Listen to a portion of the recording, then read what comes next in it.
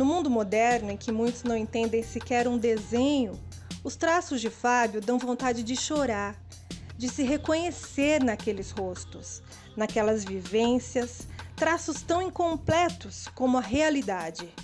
Um trabalho, não mais que um caderno de desabafo, escondido do nosso povo, feito de favela, mas não só para ela, pregado, colado, remendado como chinelo usado.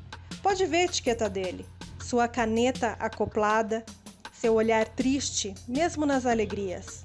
Fábio feito de favela, espalhando ela, amálgama, essa coisa tóxica de querer sobreviver.